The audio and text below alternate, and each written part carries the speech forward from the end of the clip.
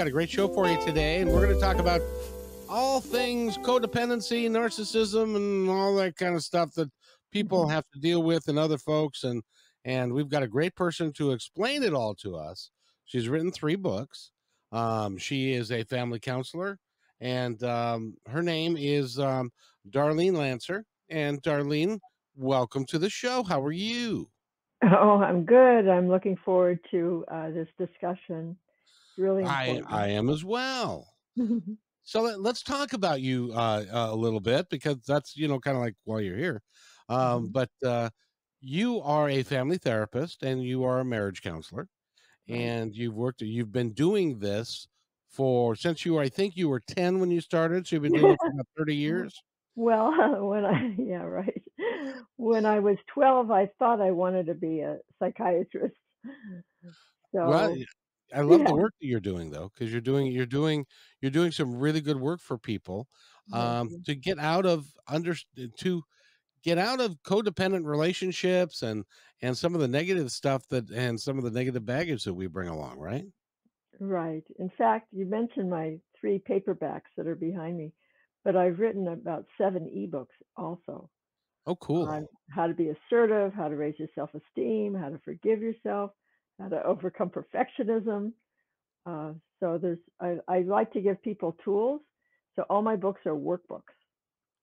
Oh, that's that that's awesome. So if they would like to uh, um if they would like to look at all of your ebooks and all of your writings and stuff, uh, that would be darlenelancer.com, correct? And they can go and Either look at there, every right there, or whatiscodependency.com. ah, very good. And I What also have webinars and audio files for them too. Oh, very nice. Mhm. And we appreciate that. And and I just love that you've got a beautiful website. So go there, Mhm. darlenelancer.com and uh Thank you. uh, and you you're working very hard to help. And one of the things that we like to talk about here is that you're working very hard to change the world one person at a time to make their lives a little bit better so that they we can get rid of the what I call the seven generation um the seven generational rule, which is that what happens to your father happens to your son, happens to your father, happens to yours until the cycle is broken.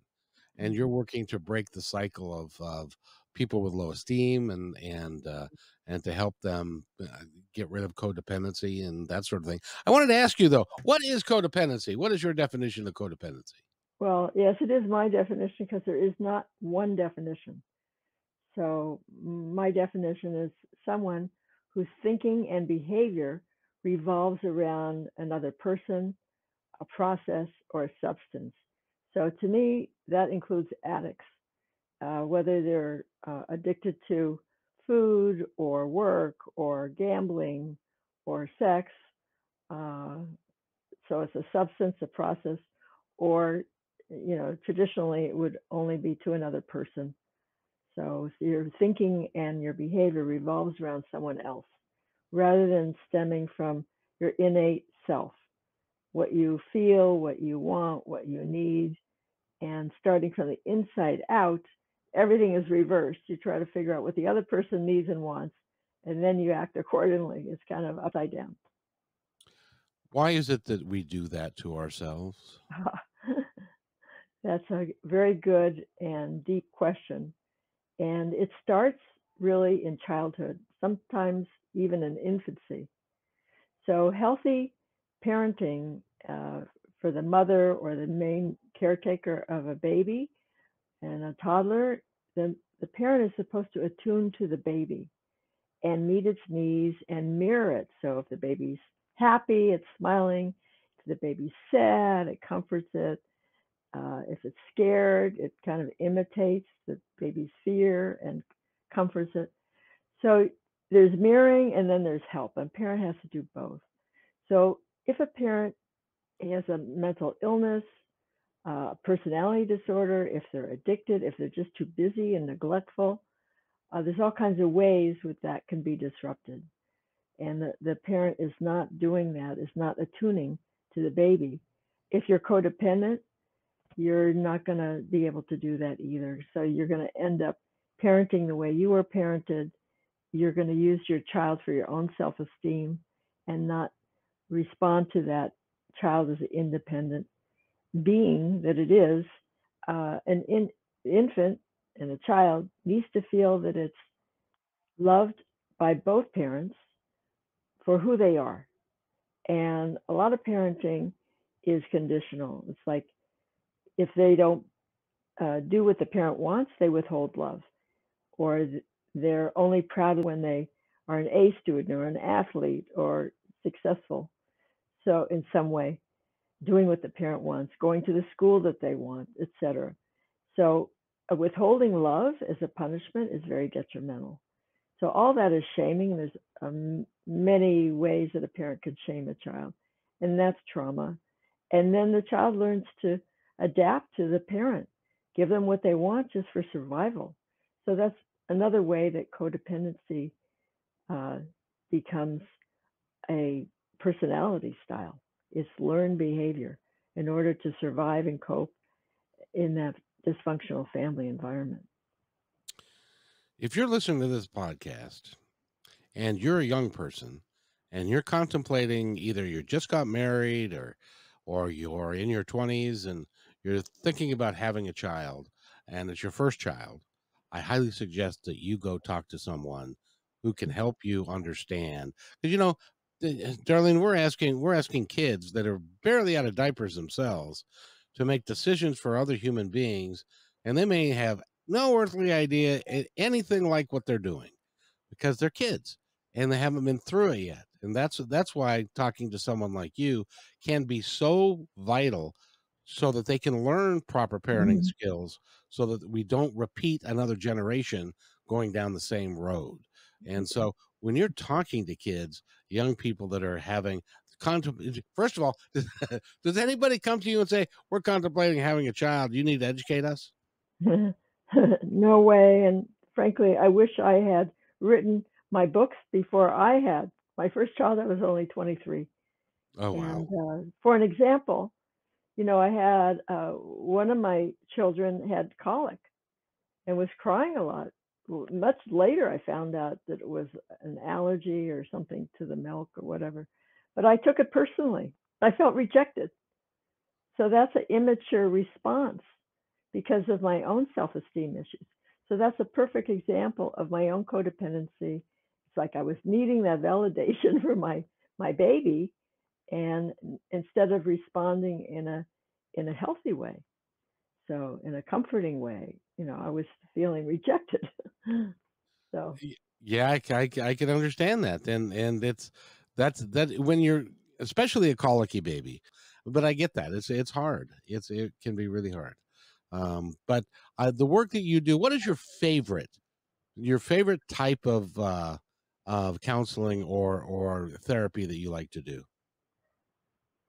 Well, I enjoy what I'm doing now, it's just helping people basically individuate. That means to become your own person, basically. So you own your own thoughts, your feelings, your opinions.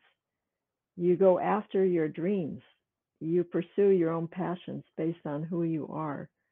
And that's all my books are really about that kind of personal transformation, which is something that I've done with myself and working, you know, before I was a therapist, even though I wanted to be a shrink when I was 12, I went into my uh, the field of law. So for like 20 oh, wow. years, I was practicing law, and it was such a detour from what I really wanted and who I was and what I should be. So I wanted to be a writer too when I was in college. So eventually, you know, I eventually got around to being back on my path to who I was meant to be because when you're in an unhappy relationship or even in a job that doesn't feel right and you're unhappy, you're out of alignment with your your soul. I call it soul alignment. And you're not meant to to be that. So if a if a marriage even falls apart, it may be a good thing because it's not working and there's reasons it's not working. And you have to kind of get back on track to really be able to express yourself fully, who you are. It's sort of like an acorn growing into the oak. So if it's, you know, growing in the wrong direction and thinks it's a pine tree, it's not going to grow well. So uh, helping people really express who they are and who they're meant to be. And if you're in an abusive relationship, that's totally wrong. You're not meant to to experience abuse, but to re- love and respect yourself, and then you'll attract that. and it's all about it's part of it is the the law of attraction and if you, if you attract negative things by saying negative things and acting in negative ways or letting other people um, run all over you and and Mhm. and dominate you and and be a narcissist and and all of the all of those things then you can't get to where you want to go it's it's it's like saying you want to go to my my hometown of Seattle, but getting on the road to San Jose, and uh, you end Mhm. up in San Jose, and you're nowhere near Seattle, and you can't figure out why. And that's why it's good to talk to someone like you. Right. And the other thing is, people don't realize that if they're experiencing disrespect and abuse, they can leave that relationship, but they're going to eventually find out that they are the worst abuser because we will will allow about as much abuse as we give ourselves. I know it's kind of a funny law of attraction there. So there's a saying like if you're pointing the finger, you know, there's 10 pointing back at you. So you have to really look at yourself. My books are not about finding blame and fault at other people, but how you can take back your power and how you can turn that relationship around and empower yourself, raise your own self esteem. People say, you know, how can I raise my child's self esteem? They want to be a better parent. I say, work on your own Ah, because the more you have self esteem, the better you'll be able to transmit that, and your responses will be healthy with your child. And if you want a healthy relationship, work on yourself, raise your own self esteem, and then you'll have someone who has good self esteem and you won't tolerate disrespect. In fact, research has shown that when people have low self esteem, the prognosis for the relationship is low. It's not good. Those relationships more often lead to conflict and they don't last. But actually, if you have good self if your partner has good self esteem, it can actually help raise your self esteem. exactly. Or or if you have got good self esteem, you can help them raise theirs. Yeah, Or I've been or not. I've been told by some former boyfriends that I raised their self esteem. Well, that's that, that's good. That's good news because they were dating out of their league. You know but that's but that's important let's let's talk about your third book that you just got out there and uh and i i wrote down the name of it kinda but uh, tell us the name of the book here I can get it here. Show it to your viewers. Dating is a glare. I don't know. Dating, loving, and leaving a narcissist. And you can't read the subtitle. It's essential tools for improving or leaving narcissistic and abusive relationships. So it's not just to be with a narcissist. If you're with any whoops, well, anyone with a personality disorder or an addict that's abusive, the same principles apply. My first, my marriage was to an alcoholic, and uh, some of the things I learned are in that book because I was able to totally changed the power dynamics in that relationship. And eventually I left because I was happy, not because I was unhappy. and you were you were on your own at that point you were able to to break free of that can you give me a description i you know you hear i hear it all the time but but give me a description of what is a narcissist Good question. So there's three essential qualities or traits. And one is that they have an excessive need for admiration. They need constant like praise and admiration from people. The other is a sense of grandiosity. They think they're the greatest, they're the best. Sometimes it's just in fantasy that they're undiscovered, you know. Uh, and that's one of the reasons they boast a lot or brag a lot. So the third one is lack of empathy. So Um, narcissists, they can understand intellectually feelings sometimes. They can have good intellectual em- empathy, cognitive, but not at a feeling level, not an emotional level. And then they need at least five altogether to qualify for narcissistic personality disorder. And that can be one of the following uh, six. It could be arrogance, could be envy. They often envy other people and they think other people are envying them because they're so great. They like to be around high status people like celebrities, people that are successful or powerful or talented.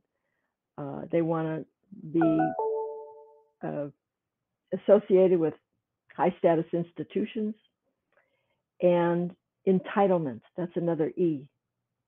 So think of lack of empathy, envy, entitlement.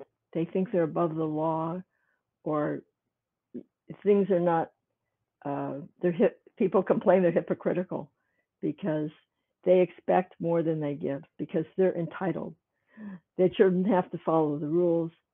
Exploitativeness, they often take advantage of other people.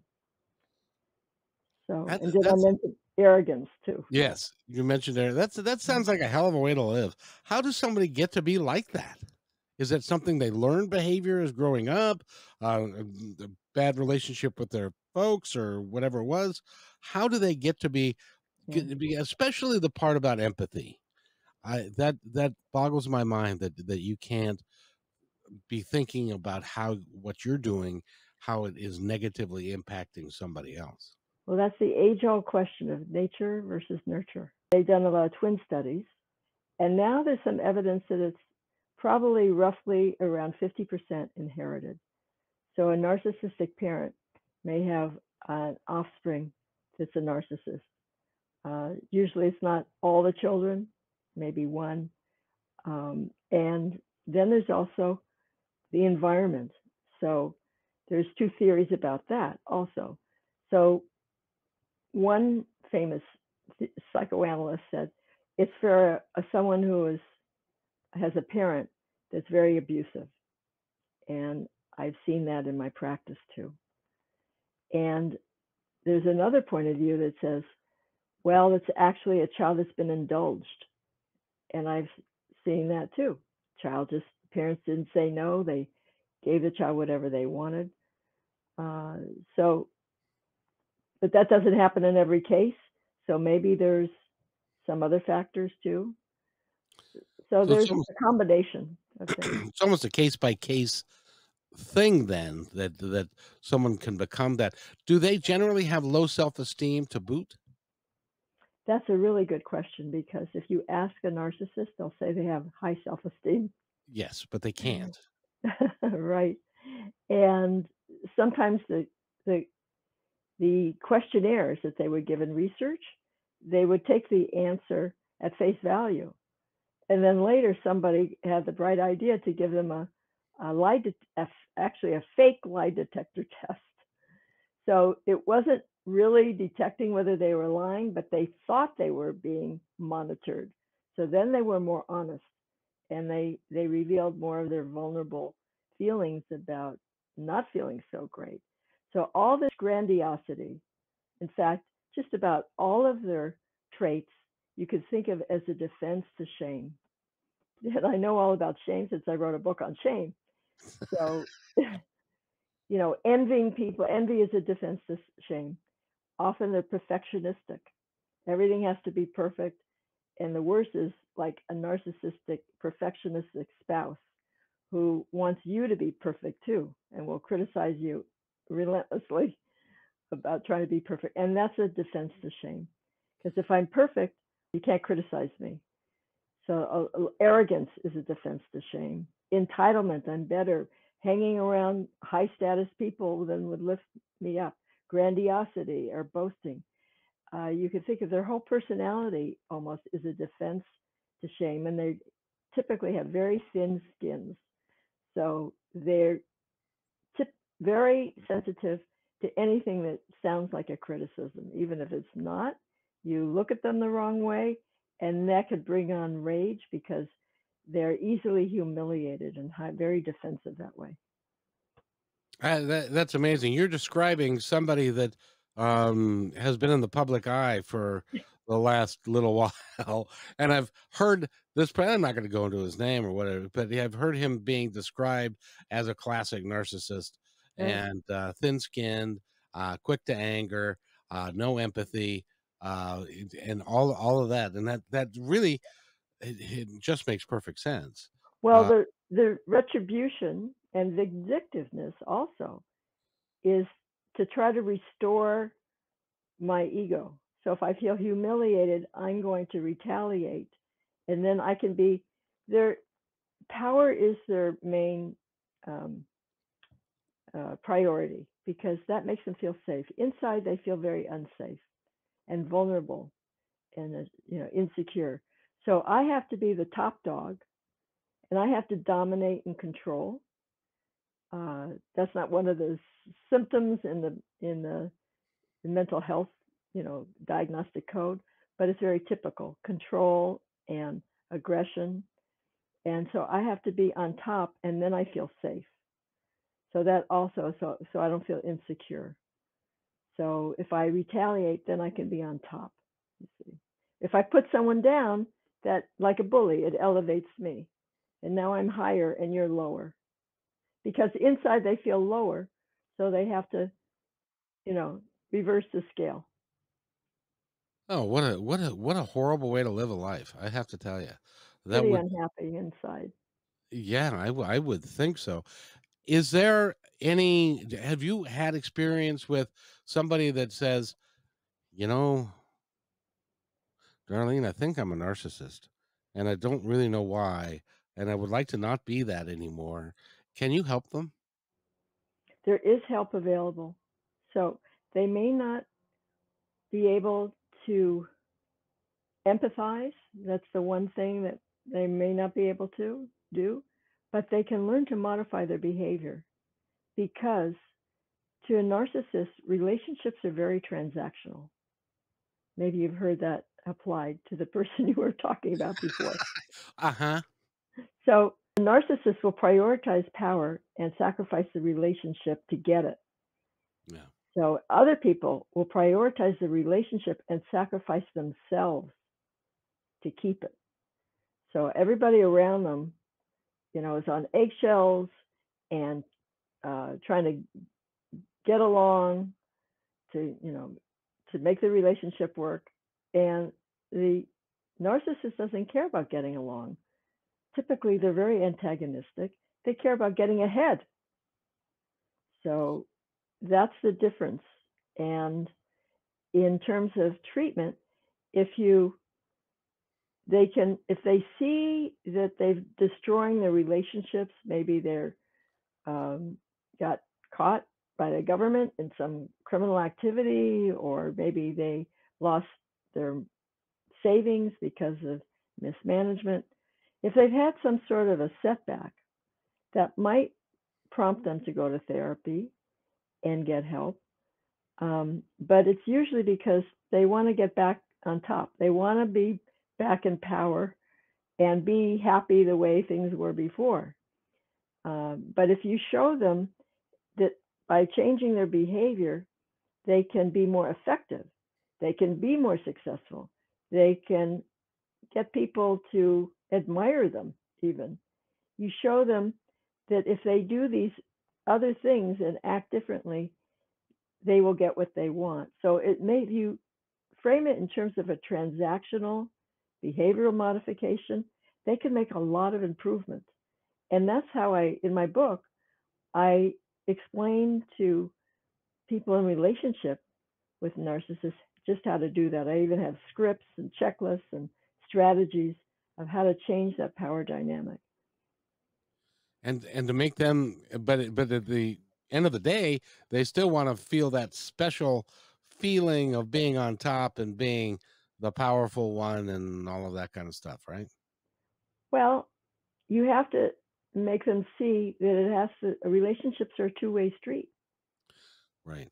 And you could still pray and you have to praise them when they do well, just like a little kid. You know eh Like a puppy dog, you gotta train the puppy dog. that's That's a right. good that's a good dog, Yeah. you know? So, if you keep telling your child that they're they're not gonna amount to anything and they're bad, they're gonna act bad, you know? And they're not gonna amount to anything. yeah, and research has shown in in edu education that if teachers expect children not to perform, they won't perform well, and if they raise their expectations, the children perform better. So, it's all about you know, the partner has to also do the work of raising their expectations, uh, but knowing how to communicate it in an effective way. Now, when people are forming relationships, does a narcissist hide the fact that they are who they are while they're in a dating atmosphere until they get, you know, everything signed, sealed, and delivered, and then they open themselves up to who they really are? Or does Mhm. the person who is dating someone like that tend to overlook it because it's like, well, they'll get over that, or that's okay? Uh, Mm, Kevin, you're asking such good questions. Oh, thank you. That's why I have a whole chapter on dating. Ah, there you are. Because one of the things that narcissists do is called impression management because they need this admiration and they want you. And by the way, I think that co- uh, narcissists are codependent too.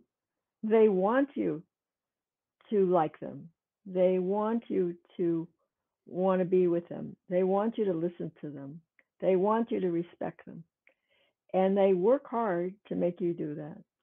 And some research has shown that it, in meetings, they had people meet with different uh, subjects, including narcissists. And everybody liked the narcissist until the seventh meeting. And then they started to see signs of the personality they didn't like. So, in a dating situation, the narcissist is going to try even harder than in just a, you know, an interview in a test setting. Uh, try even harder to win you over, maybe for a lot of reasons. Sex might be one, or with a woman, maybe she wants gifts or to be taken to expensive restaurants or whatever it is that she wants. And she wants you to admire her and think she's beautiful. So they're going to try hard. So then, after you've fallen for them, they don't need to work so hard. They don't want to work so hard. And the problem is, then they might start fault finding because they want to still be and maybe you're not admiring them quite as much because now you know you're starting to get used to the person it's just natural. You don't idealize as much after some time. And then they stop idealizing and they start devaluing you. And however in the clients i have that were married to narcissists and they say oh it was wonderful in the beginning. When they look back and in conversations they see telltale signs like maybe this person was rude to the waiter. Or maybe they um, character assassinated their ex. Maybe they don't talk to people in their family and blame everybody else. Uh, or maybe they were very controlling and you know wanted you to look a certain way or things they had to choose where you're going and and they were or difficult to negotiate with. It had to be their way you know the old saying my way or the highway Yeah, yeah. so um, so usually they don't uh, narcissists don't like to compromise Well, and I I have uh and tell me if this is a good if this works. I used I was in the food service industry for a very long time. I am kind of sensitive to the fact that these people that are waiting on us, the bartenders, the cooks, the the waiters, waitresses, the bus people, they're working very hard. And they and they Mhm, work hard all the time to try and mhm, do a good job for us because that's how they make money. That's how they make more money. So I always judge somebody who I'm going out to lunch with or going out to dinner with with how they treat the basically the hired help. If mhm, they are not kind and thoughtful and say yes, thank you, and no, thank you, and may I please and Right. stuff. I want nothing to do with them because I down the road, they're gonna treat me the same way that they treat Absolutely. well, good. So I'm I'm glad we're on the same page with that because I've always, you know, there was a there was a guy that I, I worked with that had claimed to be a a master spiritual teacher and yada yada yada, and and we go out to lunch and he's mean to the wait staff just because he can. It's like, nope, sorry, I'm not going to deal with you at all because I didn't feel like he had empathy for for them or cared, and uh, and he uh, talked down to them because they could lift himself up. I guess he was a narcissist. So let's talk about your books again. Now, what got you decided to start writing books? I had written a blog about codependency, Ah, and Wiley Publishing uh, came across that blog. They were looking to write a book, Codependency for Dummies. They read my blog and they asked me to uh, write some chapters and outline and actually compete with some other authors or therapists. And once they asked me to do that, I realized this is what I was doing with my clients for years. This was my own journey too. So I felt very confident and knowledgeable about the subject.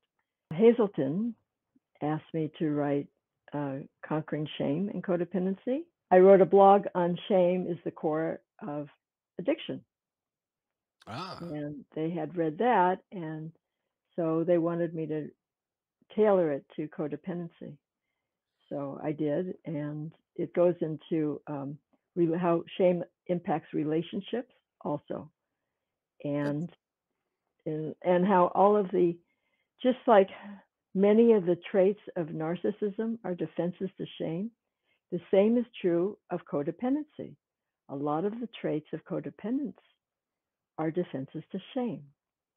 So there's a way which it's like the two narcissists and codependents are kind of like mirror images of each other. And i explain that in my book too. That is interesting. What really is interesting is that that most most authors uh, they'll write a manuscript, they'll write a book, and they'll have it edited, and then they then they have to go send it someplace or many places to get somebody to buy it. You, these people are coming to you, so that means that your information is really spot on, and uh, is is really uh, necessary for for all of us. So I appreciate that. And the third book that is just out that we wanted to talk about again, it involves dating and stuff. What's the name of that book oh it's not just dating it's dating loving and leaving a narcissist Ah, So, but it applies if you're a parent, if or if you have a child with a narcissistic parent. It's about relationships with narcissists or abusers, as I said, and how to improve them or how to leave them. And it's interrelated because people, it's harder to leave an abusive relationship than a healthy one. People don't realize realize it. Outsiders will say, well, that person's a jerk. Why don't you just leave? You should leave. That's easy to say.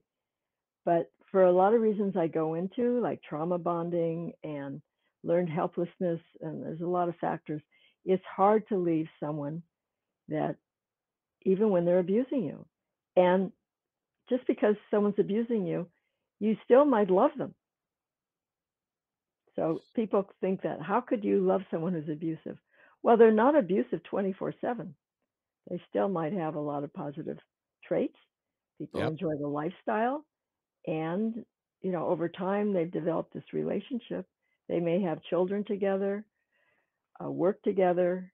So it's not always easy to leave. But if a person does the steps to improve themselves and the relationship, the relationship will improve, and or they will have the wherewithal, the power, the autonomy, the self-esteem to leave. And that's really important because a the, a controlling person may have control of all, as an example, all the money. Um, Not so only that, they will. It, the narcissist doesn't want to be left. People don't understand that. They're always afraid to speak up, but they don't want to be left. And they may even put you down, say, well, the grass isn't greener, or even threaten you. You'll be sorry. You know, if you file for divorce, you're going to be sorry. You know, you'll regret that you ever did that. It's, you know, you may win the battle, I'll win the war kind of, you know, talk to intimidate you. So you have to build up your uh, your army, your inner army, your resources, and and not and learn not to react to the kind of control, put downs, and intimidation. Ex- exactly, and that that is really important for for people to consider today. And if you're in one of those relationships, um, and it's abusive, uh, there is organ there is there are organizations that you can go to. Uh, look them up in on Google them, and there are organizations that you can go to get help. Um, and if you want to go talk to Darlene, if they want to talk Mhm. to you, how do they get a hold of you? Well, uh, they can email me. It's all on my website. What is codependency.com, or just Google my name, Darlene Lancer, and I I have over 200 blogs on my website, and they appear other places too. So I Yep, have a you YouTube channel, and I'm on Facebook and Twitter and LinkedIn. Uh, you I come up number one on Google, by the way. okay. So so you've you've you've done you've done really quite well. Will you come back and because I would like to? There's so much more to talk about Okay. um, in this in this whole realm of of how to survive it, how to get out of it, um, how to raise your self esteem. Um, it's it's I think it's one of the bigger biggest questions of our time, and Thank it you. I would and you like can to also that. join her mailing list, and she Mhm. you'll receive 14 tips for letting go, uh, which is which is really a, a, a good thing. So, uh, Darlene Lancer has been our guest today. I want to thank you very much for being here, and you're going to have to come back because we got so much more to talk about. Can I uh, say a closing suggestion to your audience? You may. Okay. I just want to say to anybody if you think you're being abused, you probably are. And the tendency is to, because of shame, to not to tell anyone and to to keep it to yourself. Do the opposite. Get help. Talk to people. Get objective feedback, and uh, get resources that can help you. And thank you very much for the opportunity to share. Very well said. Very well said. And and remember to uh, get the help that you need, and then go see someone who can be your therapist, who can teach you how not to date the same guy in a different suit, which would which would be because there are good men out there. Oh, there maybe, are. maybe one or two, but there are there are good people out there that you can that you can date. Darlene, thank you so much for being on the show. I've got I've got to run, but uh, Okay. I, I want to have you back on the show. Can we do that? Of course.